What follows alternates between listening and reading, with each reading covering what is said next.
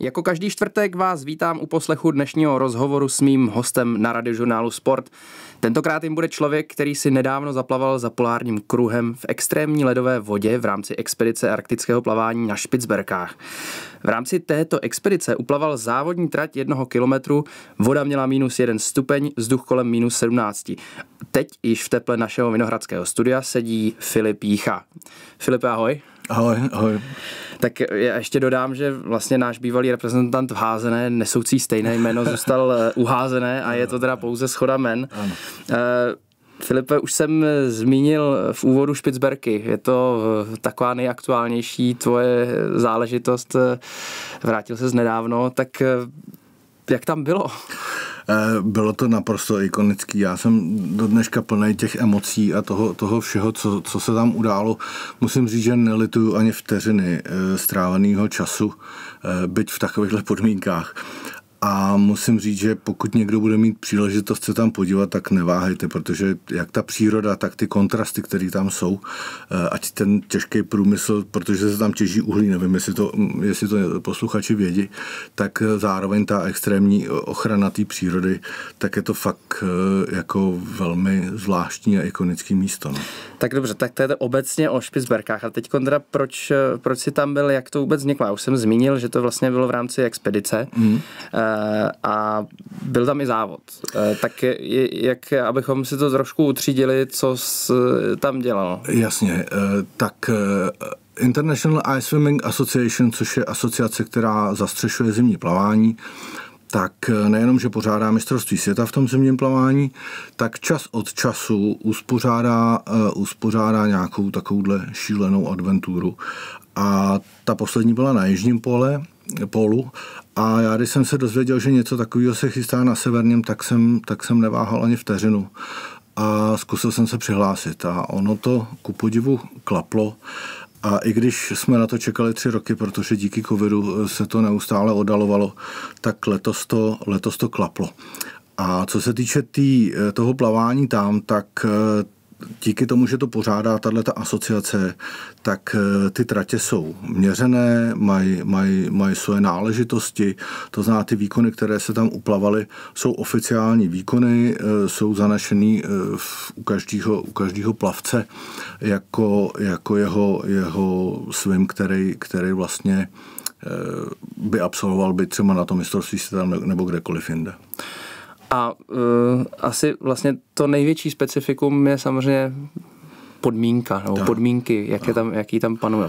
Tak uh, to je, já jsem už taky, zmiňoval jsem tady skoro jako kdybych předpovídal počasí, ale dneska máme asi jiné hodnoty venku, tak voda minus jeden stupeň. No, ta slaná voda ku podivu může jít i do mínusu. My když, jsme, my když jsme dostávali kusy informace o tom, jak tam bude, tak jsme dostávali info o tom, že by mělo být někde kolem, přes den kolem nuly a voda by měla mít 1-2 stupně, což není něco, co tady zimní plavci neznají. Běžně se tady v těchto z těch podmínkách plavou závody, to znamená i ten kilometr, i ten kilometr se v tomhle tom běžně na závodech plave. Nicméně, když jsme přiletěli tam, tak ty podmínky byly úplně jiné. Ty, ty první dny bylo dokonce jako minus dva ta voda a ten vzduch byl v podstatě konstantní, takže, takže to, bylo, to bylo rozčarování. A bylo to jako e, rozčarování v podobě toho, že třeba musel si nějak změnit eh, přístup k tomu, nebo, bylo, nebo tě to ovlivnilo psychicky? Nebo mě, jak? to, mě to ovlivnilo moc psychicky, Aha. protože i třeba čtyřnásobný olympionik Petr Stojčev e, řekl, že v těchto podmínkách míly plavat nebude. Já jsem si tam původně chtěl jet zaplavat tu míli, protože jako kvalifikační svým e, člověk musí, než jede na takovouhle, na takovouhle akci, musí vlastně za posledních šest měsíců zaplavat to, co chce plavat tam. Takže já jsem tu míli v českých podmínkách zaplaval ve třech stupních a chtěl jsem se o něco takového pokusit i tam. Akorát, že e, za A my jsme suchozemci, to moře je úplně jiný level a ta teplota e, je věc, kterou my tady vlastně, my tady vlastně nikdy jsme nezažili. A ty briefingy, které tam byly s tím doktorem, tak byly dost děsivý. E, musím teda říct, že ten doktor byl jako naprostý profík a, a borec. A on říká, hele, vy všichni znáte jeden stupeň, dva stupně, to je všechno OK, ale tady se bavíme úplně o něčem jiném. Jo, a ono potom mu to všechno dalo za pravdu, protože, protože se tam stala jako nepříjemná věc, takže, takže ty podmínky fakt byly úplně jiný, než na co jsme zvyklí. A má teda smysl vůbec dělat nějaký ty kvalifikační svimy, když vlastně to děláte tady v Čechách, že jo? A, a ty, ty podmínky se no. vlastně no, tomu nemůžou téměř ani rovnat podle toho, co říkáš. No, ne, nemůžou, ale zase pokud já bych to tady nezaplaval, tak bych Jasný. to nemohl plavat tam, no. Takže, takže člověk si to zkusí.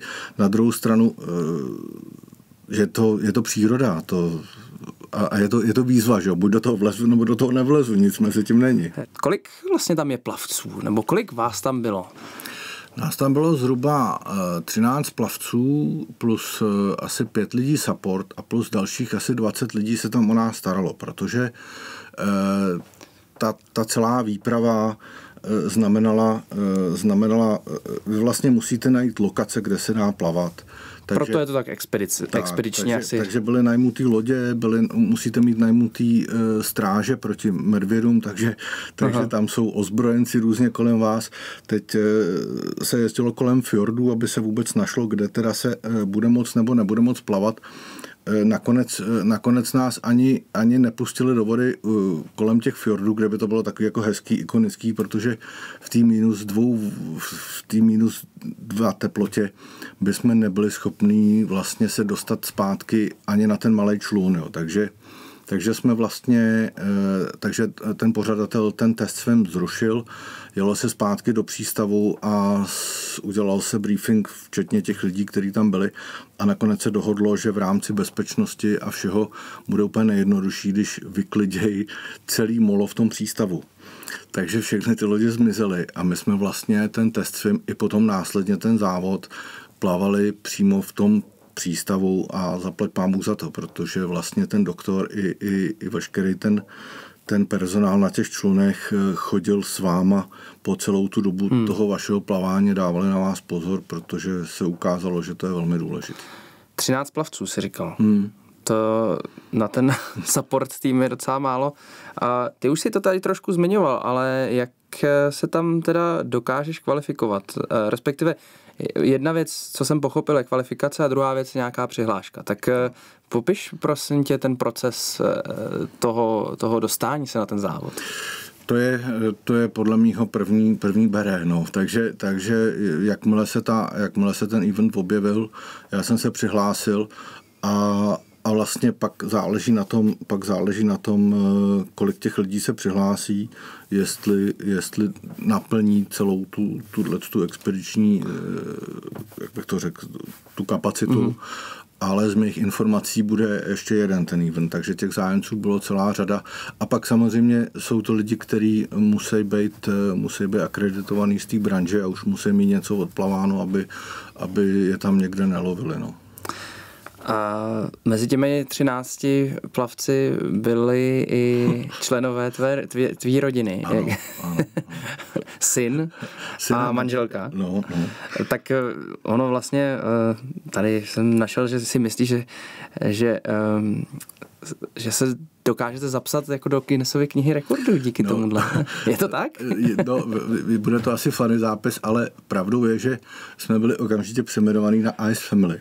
A manželka původně měla jet jako support, ale eh, vzhledem k tomu covidu vlastně začala plavat taky, takže už se třetím rokem otužuje.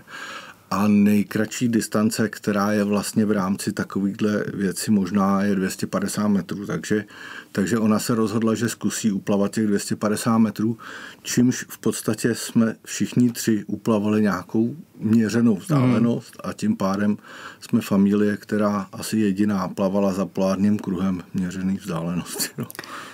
A myslíš tam na čas? Ne, ne. Nebo to je, protože ne. jsou to sice distance a je to závod, takže logicky bych si řekl, že... Já bych řekl, že to je závod sám ze sebou. Ono, ono no. vyloženě eh, v takovýhle vodě, eh, v takovýhle vodě, třeba Petr Stojčev má kilometr za 13, za 14. Jo. V normálních podmínkách. Tak, on je dálkový plavec, on byl, mm. on byl vlajkonošem na londýnské olympiádě a, a to je plus minus, je to, je to v, ta, v takovémhle čase. Mm-hmm. Ale ve vodě, která je minus jedna, tak si automaticky musíš připočíst konstituci, to znamená, jak ten člověk vypadá, jak kolik má vnitřního tuku a tedy, a tedy, jak je rychlý. A pak samozřejmě, pak samozřejmě eh, to, jakým způsobem ten člověk dokáže s tím chladem a s tímhle s tím bojovat.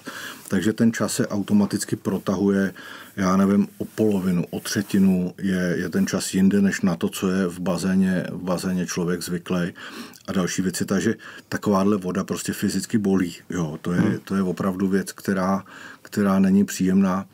A, a, a, a, a ještě bych řekl, že třeba ta voda jako dobrý, nebo to uplavání dobrý, ale to následný uh, recovery, to následný prostě uh, dání se dohromady, to je strašně těžký z takovýhle vody. Jo. Je veliký rozdíl uh, slaná, sladká voda? Je, je. Pro nás je to rozdíl, uh, ona, každá ta voda je, je jiná. Jo. Mě když kamarád přived k zimnímu plavání, tak mi říkal, budeš závislý na vodě a každá voda schutná a, a studí jinak. A je to naprostá pravda. Když jsme byli třeba na mistrovství světa na Bledu, tak ta voda z těch kopců je taková těžká, temná. Mm. Pak přijedete na závody do, do náchoda nebo kamkoliv jinam a každá ta voda je jiná, člověk má jinou náladu, jinak se probudí. To znamená, je to jiný, je to, jinak se v tom plave, je to jak olej, jak když, jak když člověk prostě hrabe písek, jak ta voda je tuhá. Jo, je to opravdu něco jiného. Hlavně, hlavně ta voda vám prostě strašně rychle bere energii. Je to opravdu, je to opravdu, jak když lousknete prstem a, a, a je všechno pryč, co člověk natrénoval. Já se ptám proto, protože logicky, že slaná voda eh, by měla víc nadnášet, tak mm-hmm. jestli i opravdu ta studená voda, jestli to třeba člověk vnímá takhle. Eh.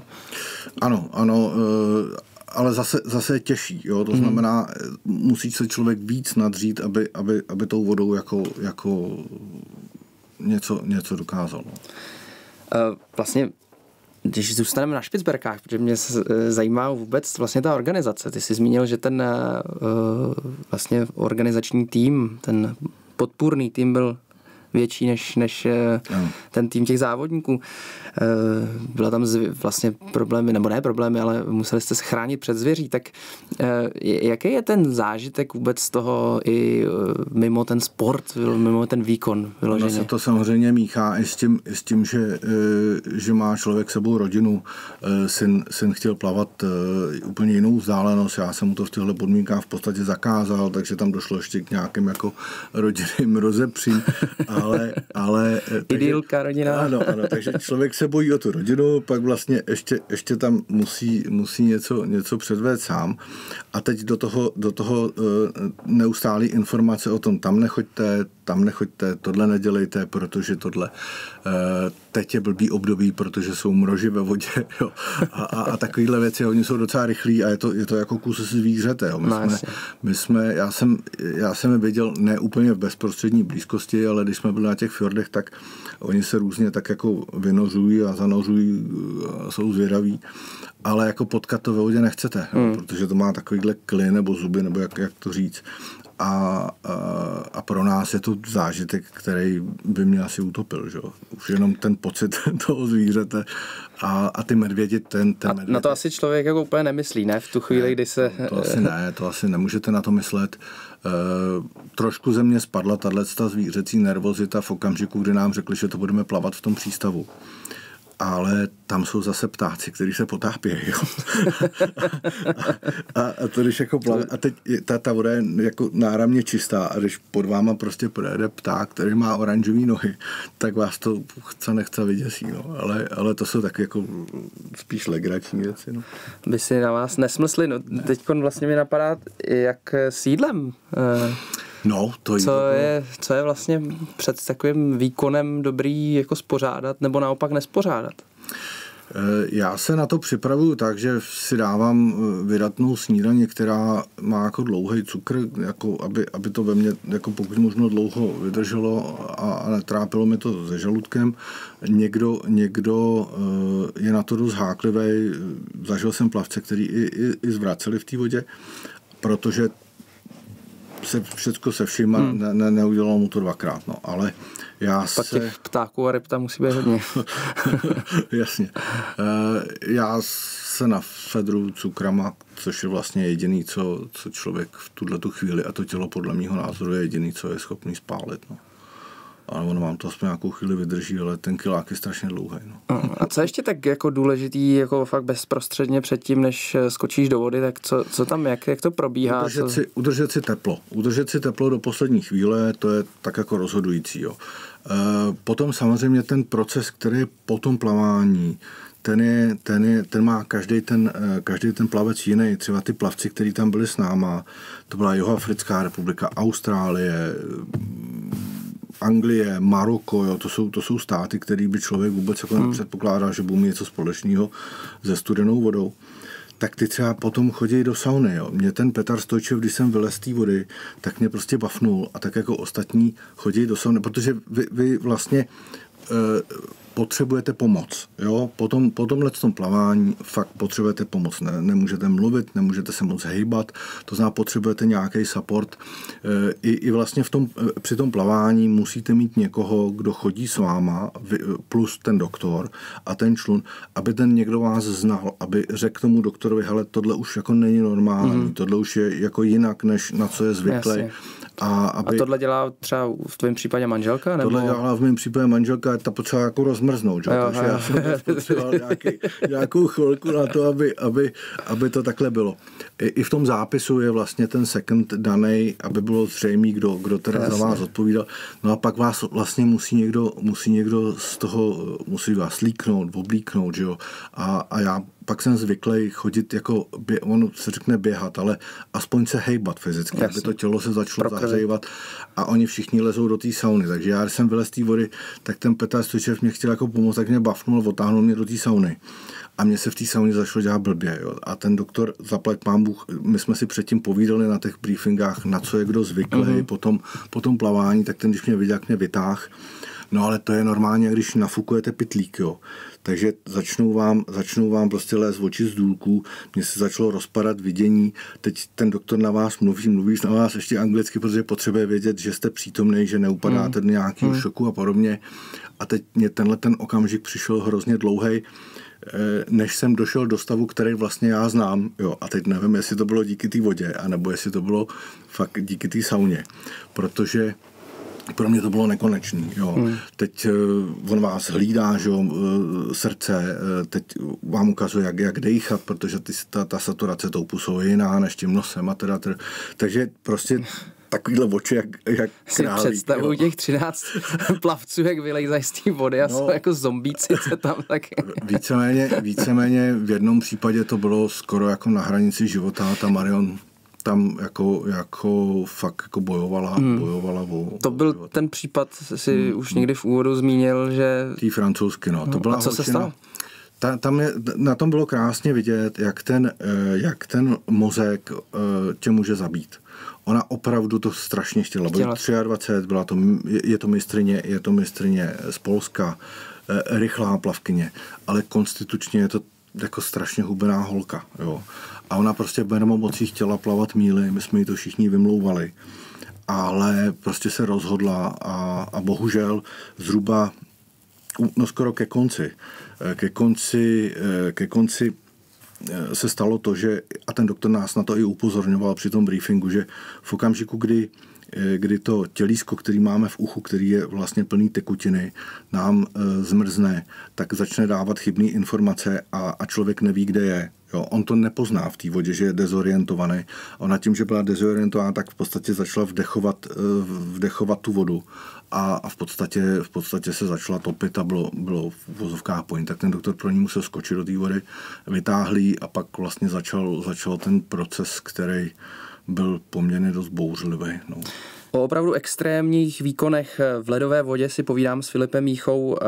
Jeden takový extrémní si zažil vlastně ne úplně sám osobně, ale v případě francouzsky, která v prakticky odpadla a ty si, ty si to nazval tak, že vlastně jí mozek, ten chtíč tohoto doplavat přemohl. Zajímá mě hrozně tenhle moment. Hmm. Ty sám uh, uvědomuješ si, že se dostaneš do takovéhle fáze, do takového uh, prostě momentu, kdy si řekneš, ne, teď už ne, teď už by to bylo za tou hranou, kde právě dojde k tady těm problémům? Ty si to v té vodě neuvědomíš. Já jsem samozřejmě měl nějakou představu, byl jsem nějakým způsobem namotivovaný, protože musíš, musíš pro tohle se nějakým způsobem i, i psychicky na ten výkon připravit a chtěl jsem tam plavat tu míli. Akorát, že, akorát, že nějaká je tvoje představa, pak přijedeš do těch podmínek a je to všechno úplně jinak. Jo. Tam opravdu ta voda není úplně to rozhodující, co na to má ten vliv, protože decháš minus 15, to znamená to prochlazení je i, i daleko intenzivnější z toho vzduchu. Takže jako eh, je mi 52, měl jsem tam sebou rodinu a nějakým způsobem jsem opustil eh, tyhle ty myšlenky, byť, byť eh, jsem si to chtěl splnit a, a ten rozum vyhrál. Ale ta Marion, ta Marion je přece jenom 23-letá holka a ta byla rozhodnutá naprosto bez jakýkoliv diskuze. A tam, bylo, tam ten okamžik, kdy, eh, kdy ona lezla do té vody, tak my jsme se fakt všichni báli a věděli jsme, že to nemusí dobře skončit. A ten doktor i sám následně, druhý, třetí den, kdy, kdy se o tom rozpovídal, tak říkal, že těch 50 metrů k těm schůdkům už by znamenalo, že by jsme ji nemuseli taky zachránit. Jo, že vlastně ta motivace toho člověka pro tu danou chvíli může být tak silná, že nekouká napravo, nalevo a, a prostě, prostě do toho jde. No. To je... To je neuvěřitelný. A... Protože, pardon, třeba ty, eh, ta závodnice, která byla po ní, to byla Němka, a ta z té vody vylezla po 12 metrech prostě ta, tam, a byla to samozřejmě starší závodnice a tam vlastně vidíš, jak ten rozum, hmm. jak ten rozum vlastně eh, může tu, tu, tu věc zachránit. Takže tam platí taková jako lidská zkušenost, eh, ne, není to hmm. asi hmm. úplně sportovní psychologie, je to spíš... A, a, a bez sporu platí to, že prostě musí být někdo, kdo tě z té vody vytáhne a kdo je schopen usoudit na tom břehu, Eh, že ty symptomy a že to, co už se v té vodě děje, je špatně. Když už to nejsi schopen ty sám před tím závodem, tak zaplať pámbu, že tam byl tenhle ten personál, že tam byli tyhle ty lidi, který v podstatě z té vody vytáhli a dali do kupy. Ty jsi eh, zmínil, že tě je 52 let, mm. ale začal si plavat poměrně nedávno. No, já vlastně nejsem plavec, jo. já jsem původem fotbalista a protože mám operovaný úplně všecko, na co se podíváš, tak mě to plavání tak trochu zbylo. Jo. A e, já jsem vlastně začal, e, začal tuhle tu anabázi sdílet se synem, protože syn, syn hrál závodně tenis. A protože začal růst, tak se mu začaly trhat podkolení šlachy a měl zdravotní problémy, oni mu zakázali se sportem úplně. A já jsem v tu dobu začínal e, s otužováním a chodil jsem s kamarádem jenom si tak jako zaplavat k nám do toho jezírka. Pro, promiň, že ti do toho skáču, e, začal jsi s otužováním e, v té době, kdy to tak nějak začalo být... Ne, ne, 8 let zpátky. 8 let zpátky, to, Ten boom byl až potom. Aha, dobře. Tam jsme chodili dva, musím říct. Jo. My jsme založili facebookovou skupinu, která má dneska 450 jo. lidí a my jsme ji zakládali dva s tím Honzou Bendlem, takže, jo. takže ten boom je tam, je tam znát. Ale on jednou šel se mnou a říká, hele, tati, mě ty kolena člověk člověče jako nebole. Já jsem říkal, no tak pojď zkusit plavání, teď jako na tom nic není. A skoro okolností předseda prvního PKO eh, Tomáš Prokop ho rovnou přihlásil tady do Podolí na nějaký mistrovství republiky v Prsou. A, on, on a to bylo už eh, jako otužilecký, jako ve studené To bylo otužilecký, ale on se vlastně musel eh, nejdřív přihlásit do toho oddílu, aby mohl jít. A on shodou okolností zaplaval docela jako pěkný závod, asi skončil druhý nebo, nebo kolikátý nebo třetí a, a hrozně ho to chytlo. Hmm. A já jsem říkal, hele, to je super, tak jsem vlastně začal jezdit na ty závody s ním jako doprovod. A pak mi bylo blbý sedět v autě, tak jsem vlastně začal závodit taky. A, a tím to vlastně celý vzniklo a pro mě to je, pro mě to je neskutečný zážitek, když jsem dokázal inspirovat 15-letého kluka, dneska 18-letého a trávil jsem s ním takovýhle čas po závodech po republice a, a vlastně máme společného koníčka, že? co víc jako otec můžu přát. Mm. Tak eh, konec konců možná dokážeš inspirovat i mnoho dalších lidí, že? No, tak eh, rád, je, to, je to vlastně uh, je to je, ta expedice je ohromný počin. A dočetl jsem se taky, že tam vlastně Netflix točil něco. Bylo no. to, je to vlastně mediálně jako průchodný? Je tam, je tam no. hodně zájmu kolem toho? Protože je to tak vlastně poutavá věc, tak... Hmm. Ono jak pro koho. Hmm. Ta Finka sebou měla štáb, který, který natáčí pro Netflix, ale primárně to bylo dohodnutý tak, že natáčel vlastně jí a nevím, jestli to bude jako dokument na Netflixu o ní.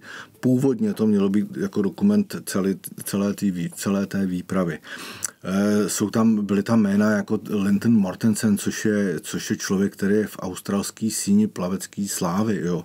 Tam, když si rozkutneš Wikipedii, jak má jenom tři stránky toho, co hmm. všechno přeplaval. Hmm. Petr Stojčev, zase v Bulharsku velmi, velmi známá osoba. Uh, uh, Paolo z Itálie, zase v Itálii o to velký zájem člověk z Maroka. Tam přijala limuzína pro něj a uspořádali mu recepci a výstupy do, do, do, do televize já nevím kam.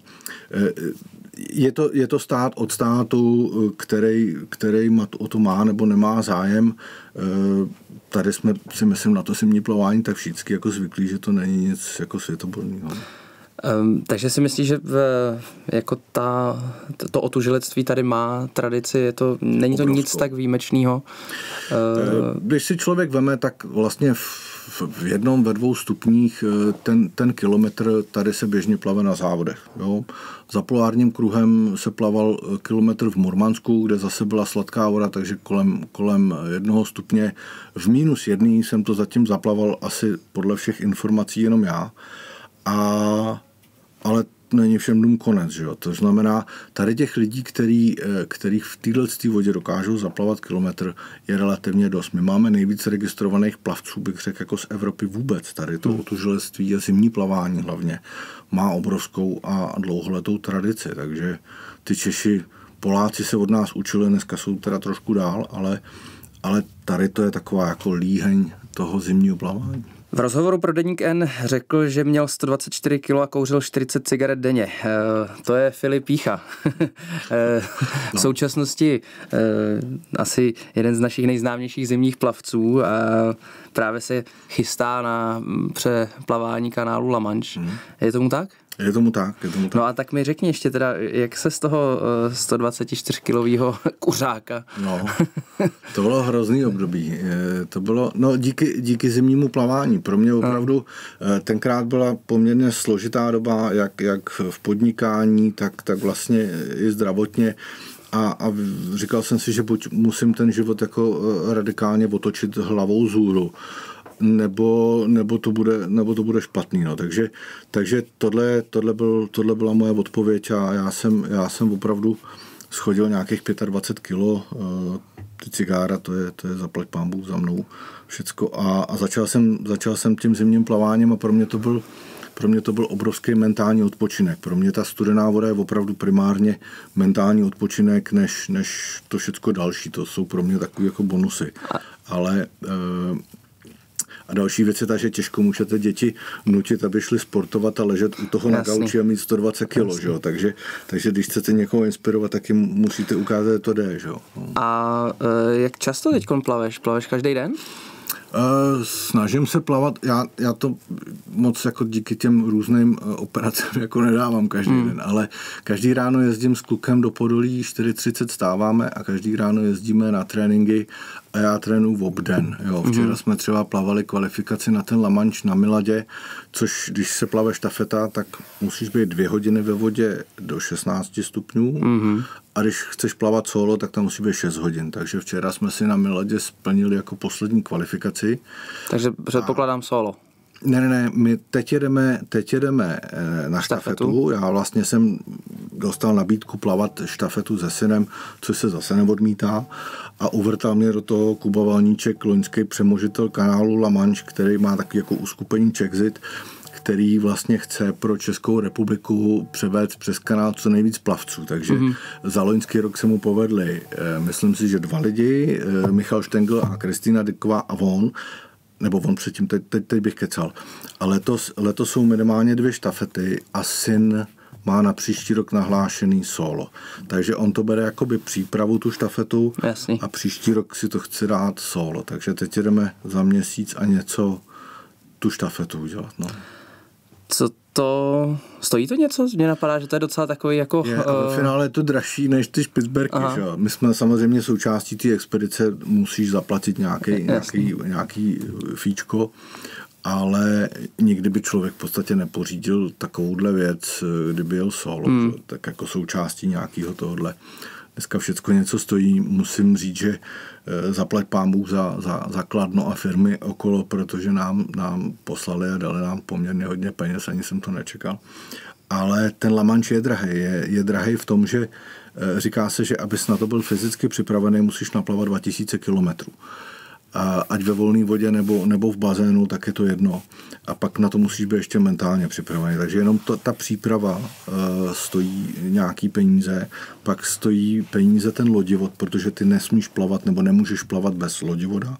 Musíš zaplatit ty asociační příspěvky. A lodivod je z tvých zdrojů, to, je, to si ano, musíš, to si všechno jo, musíš, platit, musíš, platit. musíš platit sám a teď abych nekecal, 2200 stojí, 2200 eh, liber stojí lodivod, pak nějaký ubytování a tedy, a tedy cesta, to znamená, já nevím, 3, 4 tisíce liber musíš počítat eh, na to okno, protože ty ještě dostáváš okno, jo? to znamená, my plaveme, máme okno od 20. do 28. a pak to v tomhle tomu rozmezí nezaplaveme, tak máme smůlu. Jo? Mm-hmm. A další do okno dostaneme, já nevím kdy. Takže ty vlastně zaplatíš zálohu tomu lodivodovi a v okamžiku, kdy jdeš na loď, tak mu doplácíš. A, a musíš mít zaplacený bydlení, stravu, všecko k tomu. Takže ten kanál není úplně jako levná záležitost, plus minus se to počítá někde kolem 300 tisíc. I s tou přípravou, i s tím vším kolem eh, jako pro plavce, no. takže to není jednoduchý. Taky Kolik uh, bude synově příští rok? No... Uh, Bude tam nějaký rekord? Uh, myslím si, že uh, nejmladší plavkyně, uh, myslím, že to přeplava Lenka Štěrbová, jako žena. Ano. A syn, když to přeplave, tak by mohl být nejmladší muž, ale uh, nepředjímejme, já to nechci zakřiknout. no. Jsi tady zmínil, že stáváte ve 4.30 a jezdíte do Podolí no. trénovat, tak uh, Eh, baví ho to? Je to... Strašně se do toho kousnul, už to, už to trvá tři čtvrtě rok, já už jsem vorvaný ale on je umanutý. No. A, a je umanutý na ten Lamanč hmm, teďka hmm. aktuálně? On je umanutý obecně Takže nepotřebuje závodit. Ne, on je umanutý obecně do plavání, až kolikrát ho musím brzdit, vys ty špicberky on se třeba na těch špicberkách, když se mu nedovolil uh, ten půlkilák, tak se rozhodl, že tu distanci uplave polohově. Takže tam zase zbudil nějaký poprask, protože se tam předváděl, že jo. A aby mi dokázal, že teda, že teda to jde, no. Ale je, je to mládí, no, co se budeme povídat, my jsme asi nebyli jiný, no. No, je to mládí a e, stejně tak jako náš čas tady plyne hrozně rychle, tak uh, už uh, nám moc nezbývá. Já bych se chtěl rozloučit a moc poděkovat za krásný povídání, že jsi přišel. Já moc děkuji za pozvání, bylo to skvělé a zdravím všechny posluchače. Díky. A od mikrofonu radiožurnálu Sport se loučí Vávra Hradilek.